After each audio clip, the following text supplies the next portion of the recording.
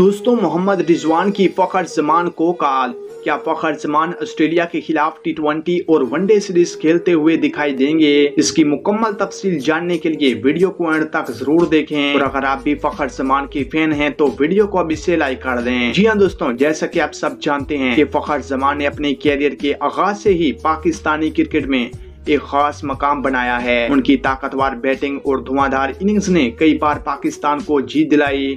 लेकिन कुछ वजूहत की बिना पर इन्हें टीम से बाहर होना पड़ा। जराये के मुताबिक कौमी टीम के मौजूदा कप्तान wicket keeper batsman Mohammad Rizwan ने फखर जमान को फ़ोन करके ऑस्ट्रेलिया के दौरे के लिए टीम में शामिल होने की दावा दी है। रिजवान की ये कल फखर के लिए एक बड़ा हौसला साबित हुई और उन्हें इस बात का एहसास दिलाया की वो अब भी टीम के लिए बहुत अहम है।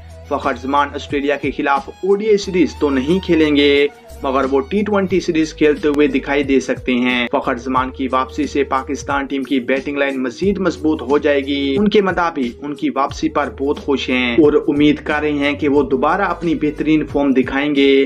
क्या आप समझते हैं कि फखर जमान की वापसी पाकिस्तान के लिए फ़ायदा मंद साबित होगी? अपनी राय हमें कमेंट में ज़रूर बताएँ।